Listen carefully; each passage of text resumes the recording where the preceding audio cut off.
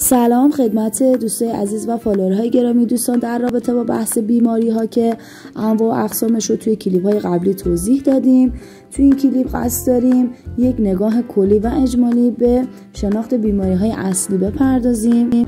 حتما نکته برداری کنید و تا انتهای ویدیو همراه من باشید. متشکرم.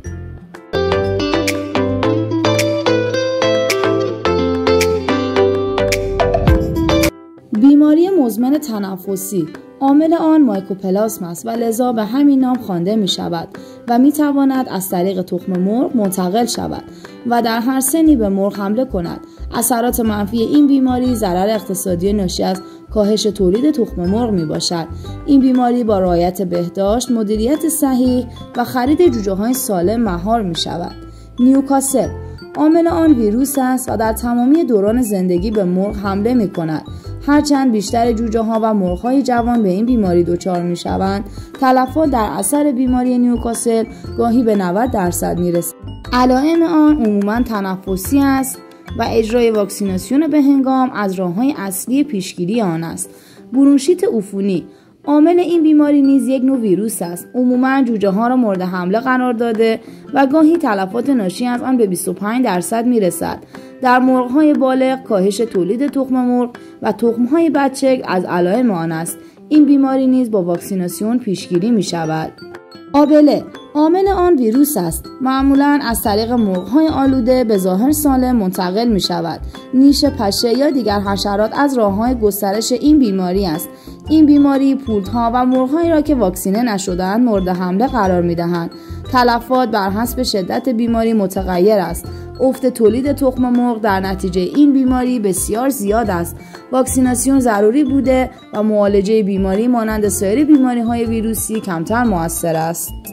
آنسافالومیت عامل آن ویروس است. عموما در جوجه هایی که در ماشین های جوجه کشی آلوده به دنیا آمدن دیده می شود در سه هفته واکسیناسیون می توان از بروز آن جلوگیری نمود.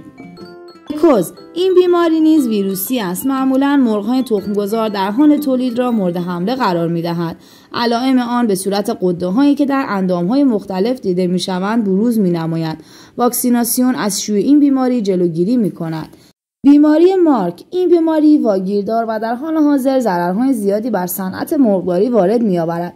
علائم مخصوص آن فلجی بالها و پاها قده های آبکی و جراحت های چشمی و غیره می باشد توصیه می شود جوجه های خریداری گردند که واکسینه شدند بیماری گامبورو. عامل آن میکروارگانیزی از گروه روویروس می باشد و معمولا به مرغ های جوان حمله می کند غالبا تعداد تلفات حدود 10 تا 15 درصد است. این بیماری نیز با واکسیناسیون پیشگیری می شود.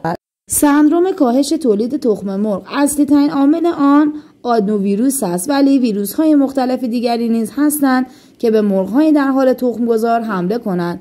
تولید کمتر پوسته رنگ پریده و شکننده و بعضا تخم مرغ های بدون پوسته از علائم این بیماری است. برای جلوگیری از این بیماری پولت های 18 هفته واکسینه می شوند بیماری عفونت مجاری تنفسی مربوط به یک نوع ویروس است. بعضا تلفات زیادی را در پورتها و مرغهای تخمگذار باعث می شود 20 تا 60 درصد افت تولید تخم مرغ به مدت 15 تا 20 روز شدید است ولی مجددا روند طبیعی خود را از سر می گیرد جلوگیری از این بیماری نیز با واکسیناسیون امکان پذیر است.